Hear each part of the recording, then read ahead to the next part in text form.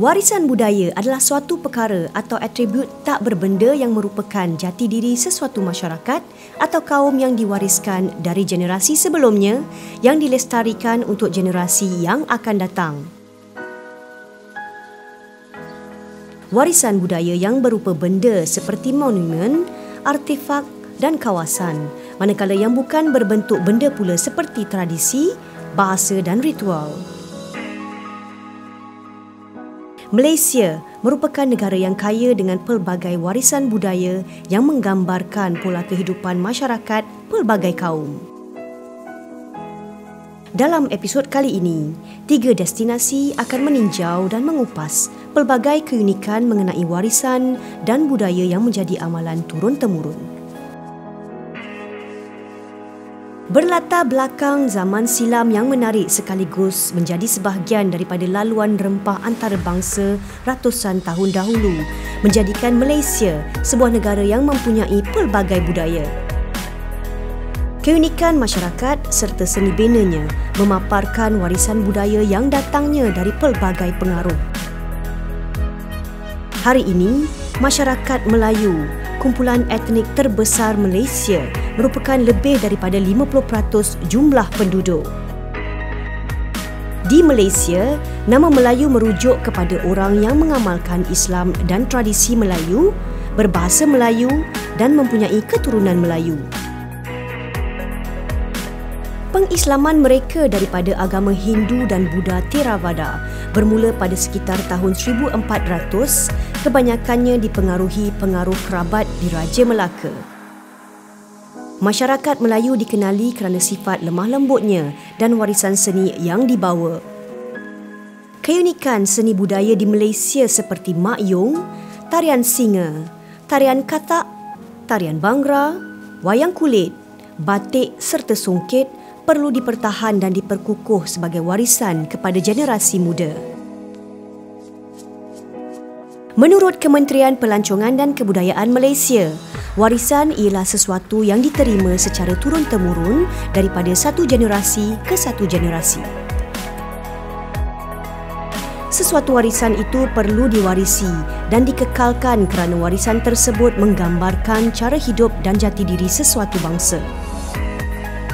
Kelantan merupakan negeri yang berjiran dengan wilayah-wilayah selatan Thailand yang dikenali dahulu sebagai negeri Patani Darussalam. Dari segi sejarahnya, Kelantan mempunyai hubungan sejarah yang sangat akrab dengan Kesultanan Melayu Patani yang didokongi oleh Kesultanan Melayu Islam. Di mana Kesultanan Melayu Kelantan mempunyai pertalian darah dengan Kesultanan Melayu Patani dan juga Kesultanan Melayu Negeri Champa. Negeri Kelantan terkenal dengan tradisi, warisan kebudayaan dan kesenian yang masih boleh didapati di negeri Cik Siti Wan Kembang ini. Kelantan juga terkenal dengan pelbagai jenis makanan. Fabrik songket juga merupakan asas kain pakaian pembesar turun-temurun. Ia juga menjadi pakaian pilihan setiap pengantin di negara kita. Tok Bali adalah sebuah pelabuhan perikanan kecil di Kelantan yang terletak kira-kira 48 km dari Kota Baru. Sejak kebelakangan ini, ia telah menjadi titik pelepasan alternatif bagi pelancong ke pulau perhentian. Masyarakat di negeri Kelantan cukup dikenali dengan tarian Mak Yung. Mak Yung atau dengan panggilan lain Mak Yung atau Mak Yung merupakan sejenis tarian Melayu tradisional. Drama Tari Mak Yong ini merupakan sebagai suatu bentuk drama tari Melayu yang menggabungkan unsur-unsur ritual, lakonan dan tarian yang digayakan, muzik vokal, instrumental, lagu, cerita dan teks percakapan yang formal dan bersahaja. Drama tari ini dipertontonkan terutamanya di Terengganu, Patani, Kelantan, Kedah, Perlis serta di Kepulauan Riau, Indonesia. Mak Yong dipersembahkan sebagai hiburan dan juga sebagai cara perubatan.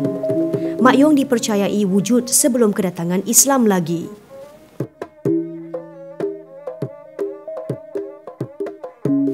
Ia dipentaskan sebagai pementasan diraja di bawah naungan Kesultanan Kelantan sehingga 1920-an. Dengan itu, tradisi ini dikekalkan dalam bentuk asal tanpa meninggalkan peningkatan yang terdapat di istana seperti pakaian yang berhias cantik. Persembahan Mak Yong biasanya dibuka dengan lagu mengadap rebab, diikuti dengan tarian, lakonan dan muzik. Setiap satu cerita mampu dipersembahkan merentasi beberapa amalan dalam siri pertunjukan tiga jam. Dalam persembahan tradisi di kampung, ia dilakukan di panggung terbuka yang berlatarkan daun kelapa. Penonton akan duduk di tiga sisi panggung. Sisi yang keempat dihaskan bagi orkestra yang terdiri dari pemain rebab, gendang kepala dua dan tertawa. Kebanyakan peranan dilakukan oleh wanita dan ceritanya berasaskan cerita rakyat tradisi dengan watak raja, dewa dan pelawak. Mak Yong dikaitkan dengan upacara di mana pawang cuba menyembuhkan pesakit yang dirasuk melalui nyanyian, tarian bersawai dan menurun.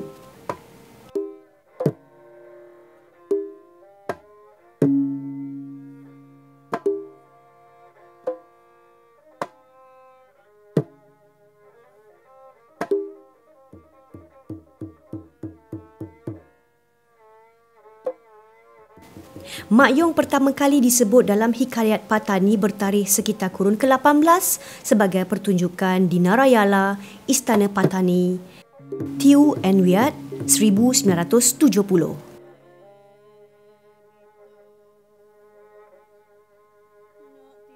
Semasa kurun ke-19, ia tersebar dari selatan Thailand ke Kelantan di timur semenanjung Malaysia dan seterusnya melalui Tanjung Kurau, yakni kini Singapura, ke kepulauan di Indonesia yang ketika itu merupakan sebahagian dari Kesultanan Melayu Kerajaan Johor sehingga ke Riau Lingga. Perbezaan di antara Mak Yong sebagaimana yang terdapat di Kelantan tidak menggunakan sebarang topeng.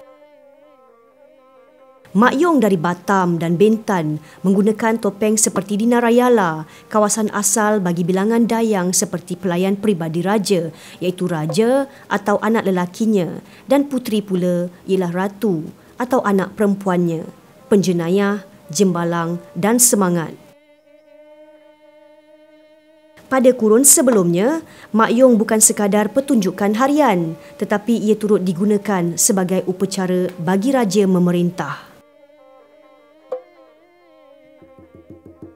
Mak Yong juga telah digunakan bagi tujuan untuk upacara berubat orang yang sakit teruk.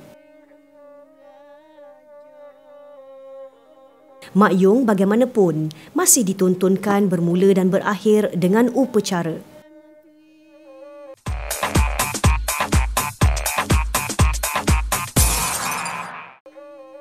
Pertunjukan Mak Yong di Batam dan Bentan pada masa kini merupakan bentuk keturunan ketiga.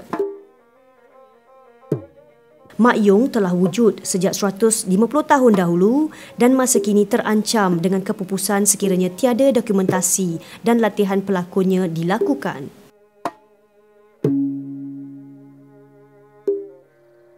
Bagi melengkapkan sesebuah kumpulan tarian Mak Yong, perkara utama yang wajib ialah pemain rebab dan kumpulan pemain muzik gamelan.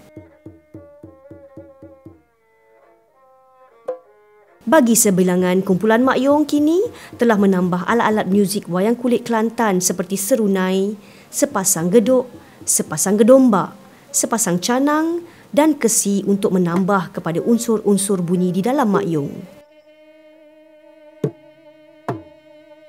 Muzik adalah aspek integral di dalam Mak Yong.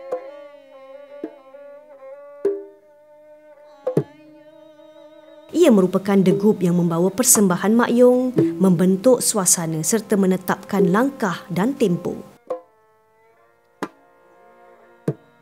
Kemudian, sekumpulan penari yang melakonkan watak-watak drama yang diutarakan. Dalam latihan Mak Yong tradisi, setiap pemain akan diajar keseluruhan peranan watak dalam Mak Yong termasuk raja, permaisuri, bangsawan istana dan pelawak termasuk para panglima. Tua dia ayah tua di bandarku. Tua letak dalam negeri ni Mereka turut diajar pelbagai kisah Mak Yong termasuk Dewa Muda, Dewa Pecil dan Hijau-Hijau Intan Permata. Ya gini ku. Pasti jaga pintu kota dulu ku. Ha ku.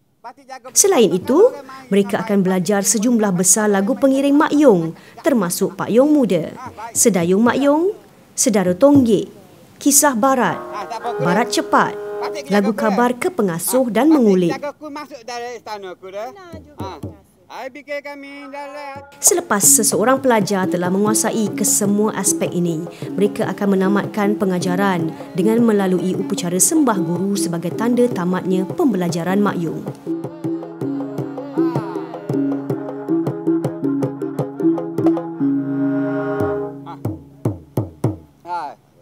Mak Yung saya, saya belajar daripada guru saya, Cik, Cik Ning. Uh, di petani, dia orang panggil Cik Ning. Kalau di sini orang panggil Cik Sung Beng uh, Cik Sung Cik Sung binti Sulu. Ni yang saya dok bawa sekarang lah ni ni pusaka hak Cik ni. Kalau mengikut kepada sejarah guru saya, dia Mok Yun dia hak Kelantan, bukan hak Thailand, bukan hak mana dak. Mok Yun ni berasal dia Kelantan daripada hulu Kelantan, hilir Terengganu. Dari sini jelas memperlihatkan kesinambungan cerita-cerita tersebut antara satu sama lain. Mak Yong yang lengkap dan autentik seperti watak Dewa Muda, Dewa Pecil dan Dewa Samaduru sebagai satu versi lain, Dewa Sakti atau Raja Sakti, Dewa Indra Indra Dewa. Dewa Panah iaitu anak Raja Panah anak Raja Gondang yang juga mengandungi maksud bongsu sakti dan bijak laksana, Gading Bertimang, Raja Tangkai Hati, Raja Muda Lak Leng, Raja Muda Lembik, Raja Besar dalam negeri Ho Gading dan Bedara Muda.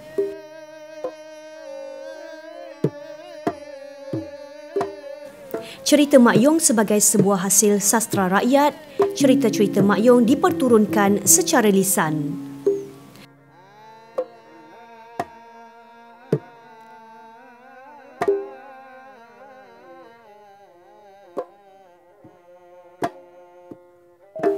Dalam proses penyebarannya, ia mengalami pindaan dan tokok tambah pada jalan cerita, teks dan juga tajuk. Sehingga kini masih belum dapat dikenal pasti berapa lamakah cerita-cerita Mak Yong yang dipersembahkan telah wujud. Kesukaran yang dihadapi dalam usaha menyenaraikan tajuk cerita-cerita Mak Yong kerana terdapat tajuk yang berlainan tetapi mempunyai isi cerita yang sama. Walau bagaimanapun, cerita-cerita Mak Yong adalah sebenarnya berada dalam lingkungan atau rumpun yang sama.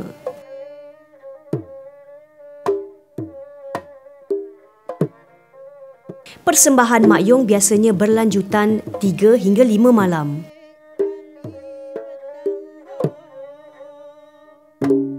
Selepas dengan persembahan rebab, segmen memperkenalkan diri dipersembahkan sebelum pecah cerita. Segmen ini merupakan satu segmen yang memberi penjelasan dan pemahaman kepada khalayak agar dapat memahami dan mengenali watak bagi menghayati segmen-segmen berikutnya. Pak Yong, selaku watak utama atau teraju dalam persembahan, akan memperkenalkan dirinya, negaranya, asal-usulnya, istananya dan mimpinya melalui lagu Ella. Ini merupakan satu cara bagi mendekatkan penonton dengan watak dan memudahkan penonton memahami jalan cerita. Dengan cara ini, penonton dapat menghayati cerita yang dipersembahkan dengan mudah. Ia menepati salah satu ciri sastra rakyat. Ia juga boleh dianggap sebagai penglipu lara persembahan Mak Yong kini telah dikomersilkan dan dipersembahkan sehingga ke pentas antarabangsa. Telah terlibat atau berkecimpung dalam uh, kebudayaan tradisional ni lebih kurang dalam 15 tahun lah. Tapi kalau nak kira sejujurnya daripada uh, kecil-kecil lagi lah. sekolah rendah. Uh, sebelum terlibat dalam Mak Yong, saya lebih dulu uh, mempelajari kesenian wayang kulit.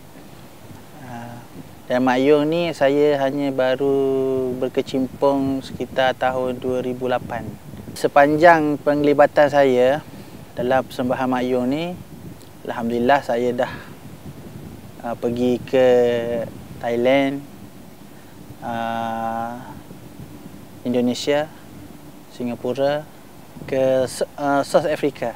Uh, dia muzik uh, Mak Yong ni, mana kita main rebab ni, dia tak terikat dengan tempo. Uh, kalau kita sebut dalam istilah bahasa muzik, nyanyian Mak Yong ni dia kita nyanyikan dalam bentuk heterofoni. Memang kita tak boleh nak nyanyi betul-betul ikut beat yang tempo yang ditetapkan.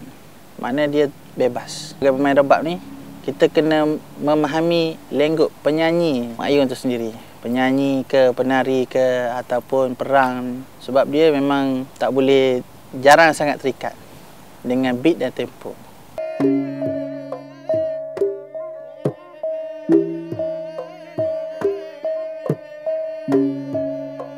Encik Wan Muhammad Azmi turut mengembangkan ilmu tarian makyong di Universiti Institut Teknologi Mara UITM Puncak Alam Selangor.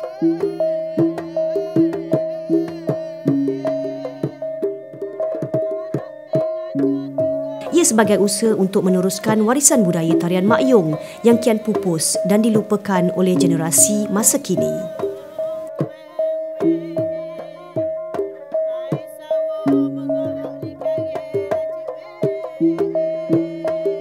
Rentetan ini disuarakan oleh adik lelaki kepada nenek Cik Siti binti Dolah yang terus aktif mengembangkan tarian makyong.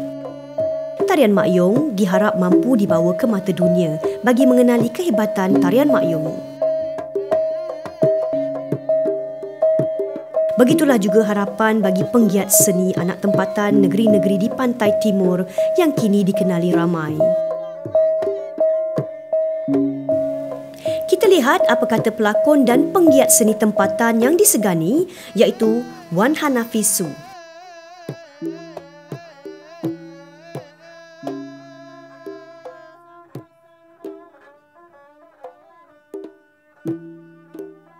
Dia bukan hiburan semata-mata.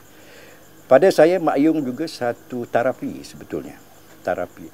Kalau kita ada fizioterapi untuk membetulkan kita punya fizikal, Mak Yung termasuk satu keedah spiritual terapi, membetulkan orang mengikut jiwa, mengikut angin. Kalau orang sini kata angin. So, ah ni tak boleh ni kena main Mak Yung ni, baru baru terlepas angin. Ah itu terapi.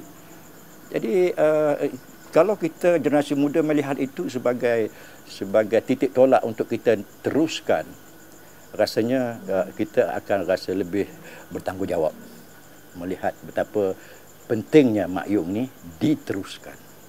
Orang dulu dia main makyum bukan untuk berhibur semata-mata. Dia bermain makyum malam ni untuk besok dia bekerja dengan lebih semangat.